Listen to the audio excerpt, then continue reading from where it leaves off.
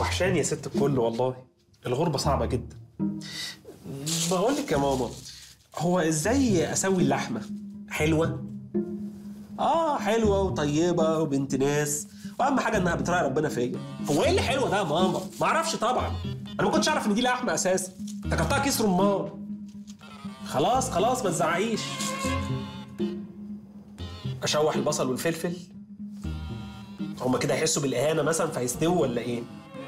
هو إيه ده يا امي؟ طب كام بصلة وكام فلفلاية؟ بالويم إيه الويم ده؟ يعني إيه ويم إيه وحدة قياس الويم اجيبها إزاي؟ هو إيه اللي على ايدي؟ اعرف إزاي ده؟ أنا مش فاهم حاجة يا امي. انت بتعرف تطبخ أساسا ولا إيه؟ أنا مش فاهم. خلاص طلعت بصلاية وفلفلاية. اقطعهم دلوقتي وبعدين احطهم على النار. اسيبهم بقى يتسوحوا قد إيه؟ ده قد إيه؟ لما يستووا. وأنا اعرف ان هم استووا إزاي؟ هينادوني. في إيه يا ماما؟ ماما انت ليه بتتكلمي بلغة غريبة انت وباقي الأمهات ها؟ عليكوا قضية مثلا في حد بيجري وراكوا؟ إيه طشة وقشة ووايم في إيه يا ماما؟ يعني لو انت هربانة من حاجة قبل ما تتجوزي أو عليكي حكم بالإعدام صرحيني. إيه ده؟ عليك حكم بالإعدام فعلا؟ يعني إيه اسمك الحقيقي عبد الجليل؟